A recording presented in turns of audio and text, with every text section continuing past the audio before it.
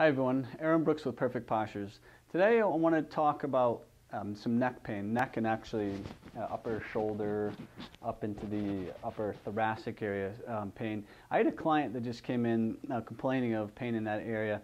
And when I did the evaluation, um, one of the key things I found was not so much what the head was doing and the neck was doing, even though that I did see a deviation there. That was more of a, a kind of an end result of something greater than that.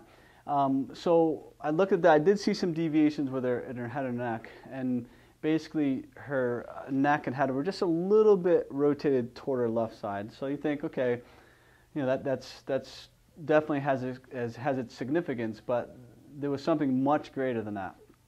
And what I saw was her torso was actually twisted pretty significantly left to right. So her torso was actually twisted this way and what I described to her was I said, if your head and your neck stay in alignment with your torso, then if you were twisted this way, you'd be looking over toward your right side. And obviously, you can't do that. You don't function life that way. So what she ended up doing was actually counter-rotating. So she was twisting this way, but her head and her neck actually turned the other way, obviously because she has to focus straight ahead in life.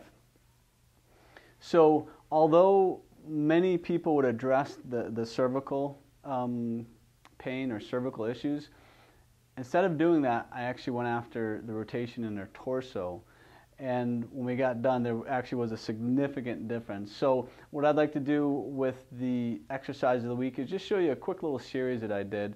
It's pretty basic. You can do it at home, um, but really, really effective. So stay tuned for that. And we're going to go over a couple exercises in the exercise of the week. And uh, stay tuned also for next week's uh, Ask Aaron question.